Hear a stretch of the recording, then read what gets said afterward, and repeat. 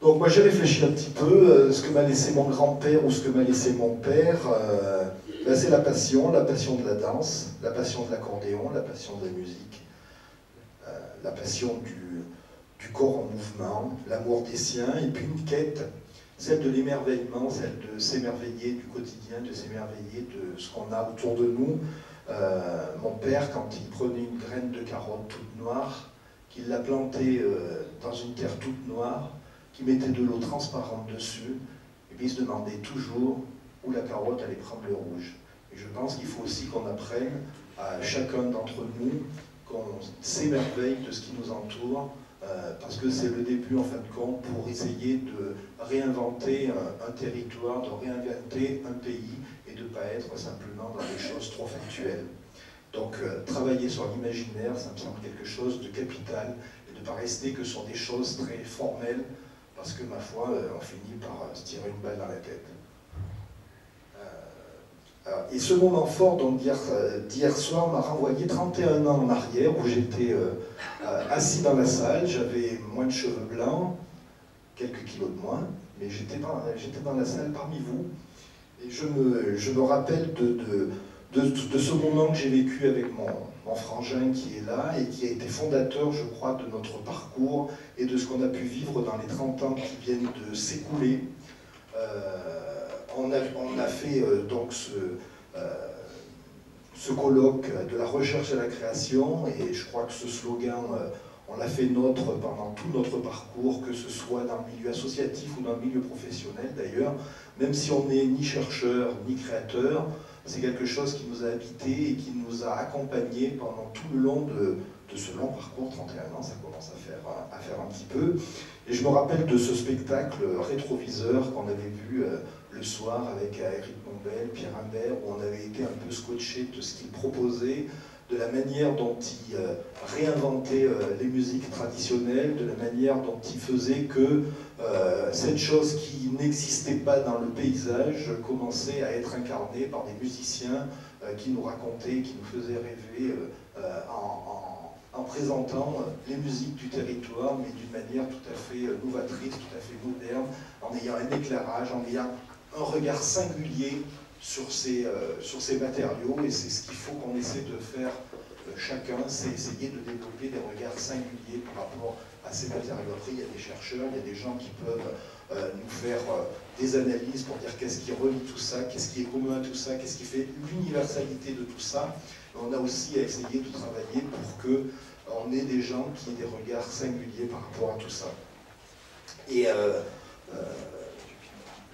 donc, suite à ce spectacle, je me suis dit, euh, je ne vais pas raconter des trucs techniques compliqués, je vais plutôt partir euh, sur l'idée d'un petit conte que je vais vous raconter et qui est fondateur, en fin de compte, à la fois de mon parcours euh, artistique et à la fois de mon parcours pédagogique.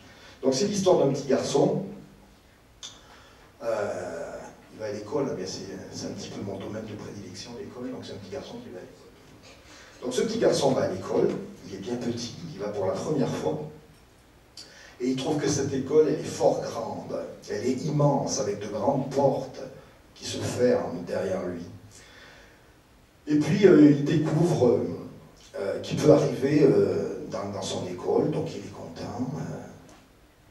et puis un matin, dans son école, il y est déjà depuis un certain temps, la maîtresse dit aujourd'hui, nous allons faire un dessin.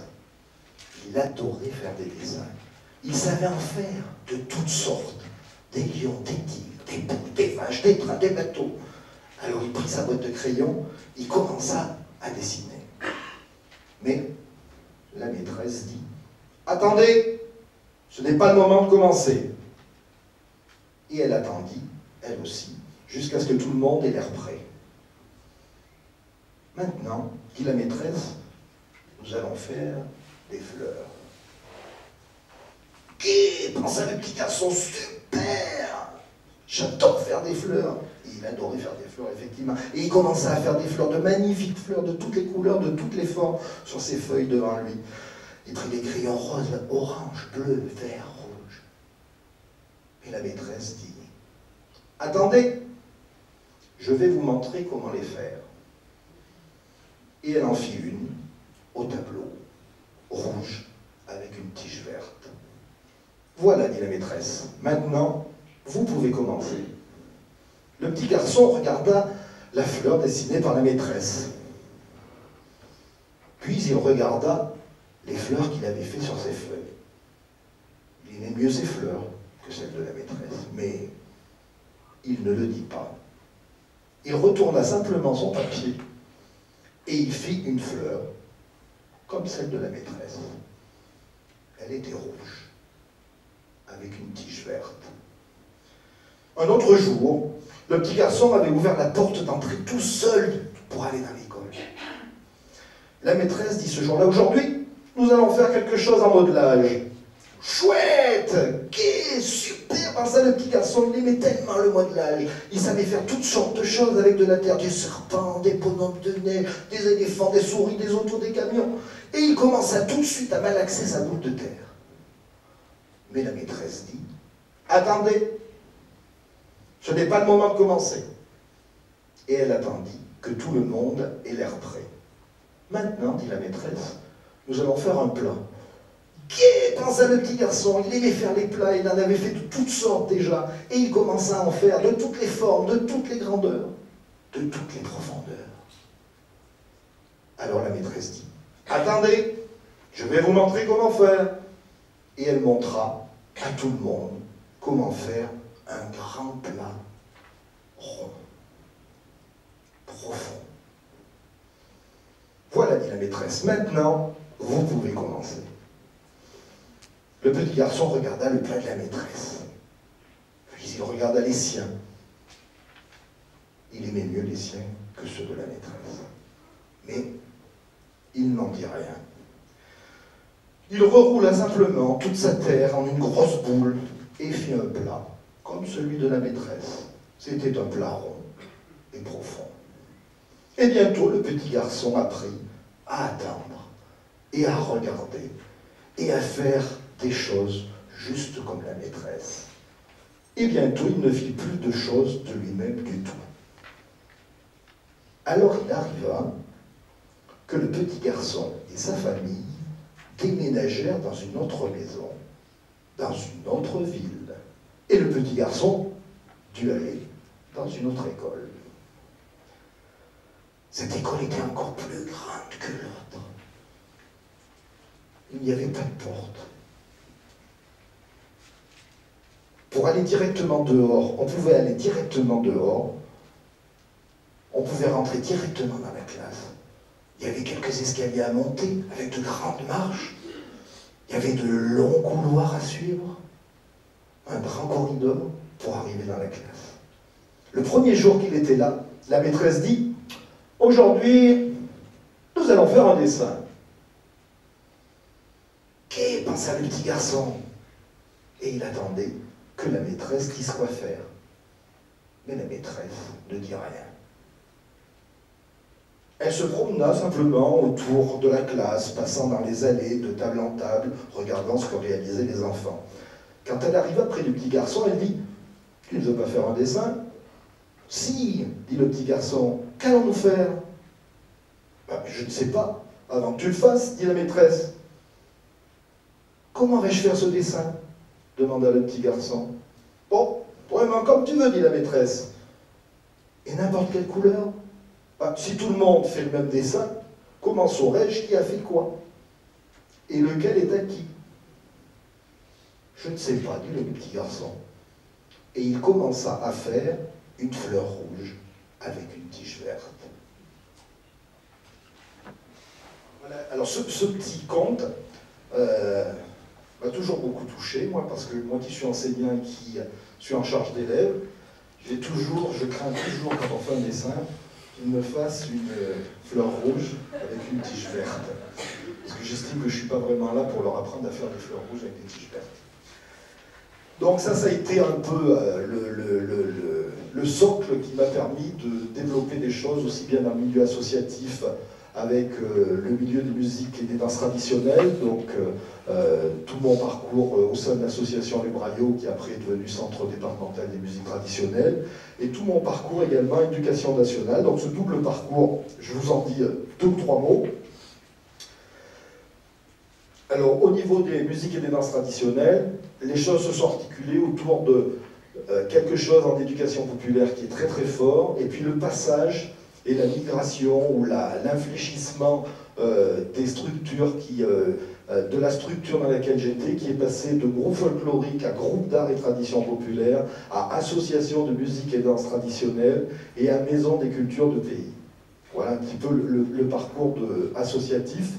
Et si vous voulez, pour vous donner une image, euh, dans un premier temps, on avait un, trésor à cacher, à conserver, à préserver pour une sorte de pratique experte où on allait euh, montrer aux gens, on montait sur scène, nous étions les experts, et on montrait aux gens qu'est-ce que c'était que la musique et qu'est-ce que c'était que la danse de ce pays quand on était groupe folklorique. Et ce trésor, eh il représentait 25 à 30 danses, donc c'était quand même un tout petit trésor, mais on était persuadé qu'il ne fallait surtout pas que les autres nous le volent parce que c'était euh, euh, notre objet à nous et on ne voulait surtout pas que les autres apprennent à danser. Je me rappelle que euh, surtout, n'affrontons pas les danses parce qu'après, quelle sera notre fonction si les autres savent danser? Voilà, on était dans cette logique-là. Et puis les choses ont bougé parce que c'était un groupe dans lequel il y avait beaucoup de jeunes. C'était une époque également qui était un peu en, ébullition par rapport à la musique et à la danse traditionnelle. Et ce trésor, euh, à un moment donné, c'est devenu un trésor à partager dans le cadre d'une pratique de loisir, dans le cadre d'une démarche de démocratisation culturelle et d'éducation populaire. On a collecté, on a pratiqué, on a imité, on a reproduit, on a traversé, éprouvé, on a acculturé, on a partagé.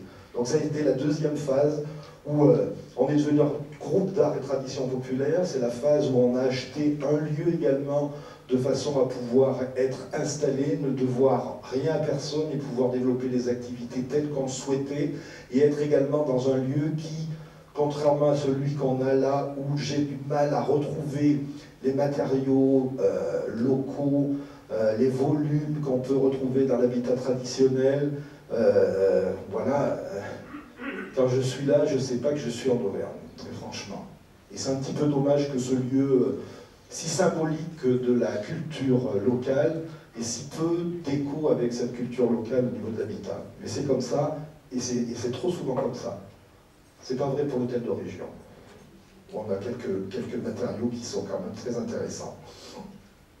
Donc ça veut dire que les, pratiques changent au cours du temps.